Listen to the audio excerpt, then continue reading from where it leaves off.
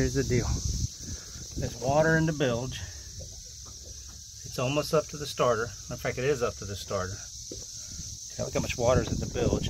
And the automatic bilge pump must not be working. I don't know where the sensor is for it.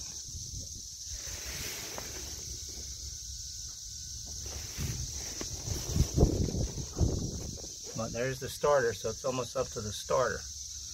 Now, if I turn the bilge switch on, master switch is on, so the automatic bilge switch is, the automatic bilge pump is not working. So, I turn the bilge pump on, now it'll pump out. See? Why should I turn it on? It should be pumping it out. It should never get to that, to that height of water. See, now it's going down but it was up to the starter. Where's the sensor that's going to connect that automatically? That's the question. That's what I need to know. I don't see it. I don't see where the sensor is.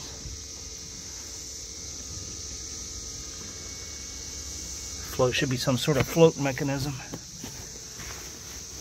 I don't see it. So the only way to get that water out of there is to turn the switch on. And that's not what I paid for. So I don't know what's going on here. Anyway, we'll figure it out.